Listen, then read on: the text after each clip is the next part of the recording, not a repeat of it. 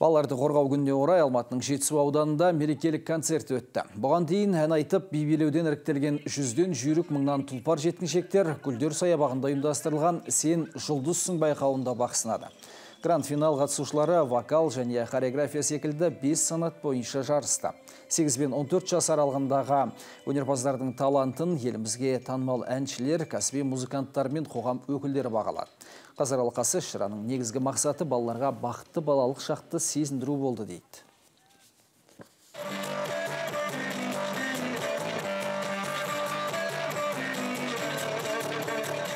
Балалар қорғау күні болғандықтан балаларға үлкен көңіл күй.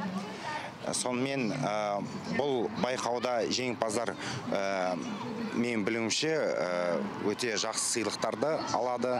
Сол балаларды қуантып көңіл күйлерін көтеру үшін деп. Жалпы қазақстан балаларына мол бақыт тілеймін. Жарқын өмір.